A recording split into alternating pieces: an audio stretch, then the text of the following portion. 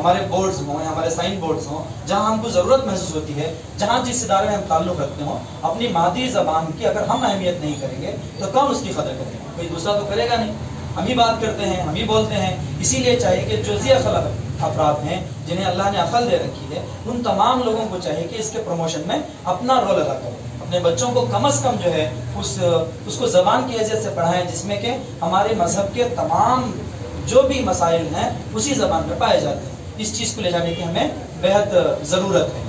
और दूसरी बात मैं मुबारकबादी पेश करना चाहता हूँ हमारे एम एच पी एस के सदर साहब। इससे हुकूमत के ज़रफ से जो मुसलमानों को या कौम को मिलना चाहिए, जो चीज़, जो हक मिलना चाहिए, वो हक मिलने के लिए जो कोशिशें हो रही हैं, वो सराहनीय है।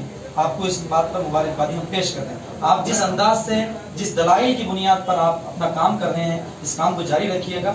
और मुदल अंदाज में जो आपका अंदाज है जिस तरीके से आप जिस रविश के साथ आप जो है काम कर रहे हैं इसको बरकरार रखिए। अल्लाह की मदद आपके साथ होगी इन अल्लाह की मदद होगी तो हम तमाम को जो है आ, कम बहुत कम ही लोगों को ऐसे मौके फराहम होते हैं जो कौम के लिए काम करते हैं। हो सकता है अल्लाह ने आपको इस आ, काम के लिए चुना हो। लगता भी ऐसा ही है कि आपको चुना गया।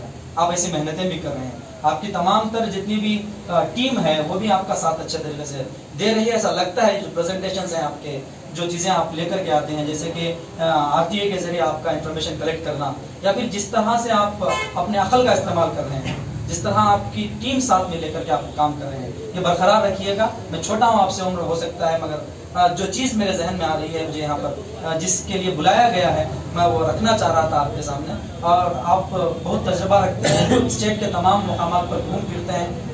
हम अपने पेशा वाराना चीज़ों में, जहाँ तक हमारी समझ है अल्लाह का करम है कि हम हर मसले को अपने उस बैनर को लेकर के उठाते हैं, हर सतह पर उठाते हैं। किसी से बात करने में ना पीछे हटते हैं, ना बात को रखने में पीछे हटते हैं।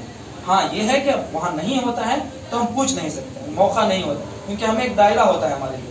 हमारे लिए एक दायरा होता है, उस दायरे में रहकर ही हमें बात करना पड़ता है। हमें चाहे हमारे कितने भी ख्याल ऊँचे हो, कितनी भी चीज़ को मैं आगे जाना, ले जाना हो अगर आपके लिए वो दायरा नहीं है।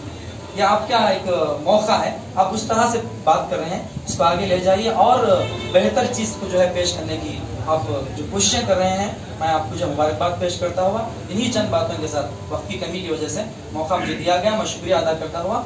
असल रहमत